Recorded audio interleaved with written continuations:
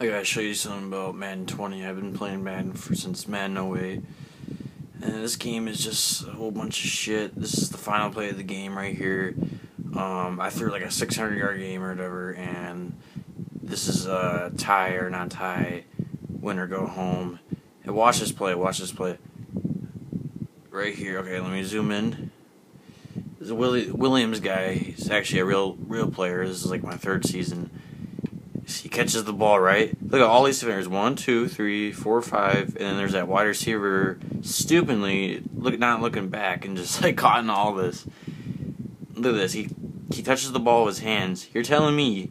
Look at these physics right here. That he can't catch that ball.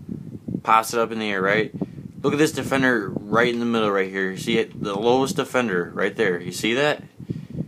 Somehow, all these guys but him fall on the ground, right? So the ball's in the air, right? Watch uh, Briggs and Allen. I don't even know if Briggs is a real player. Watch this shit. Somehow Briggs is not is fat enough or slow enough to not catch the ball. Ends up being a fucking interception. Like shit, dude.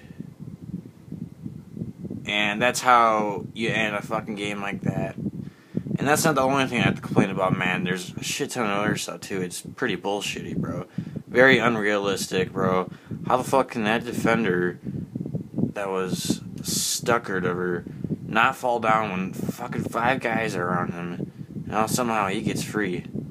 It's it's a weird fucking game, I'll tell you. The physics are really weird trying to hug him. He's like, "What's up, man?" Yeah.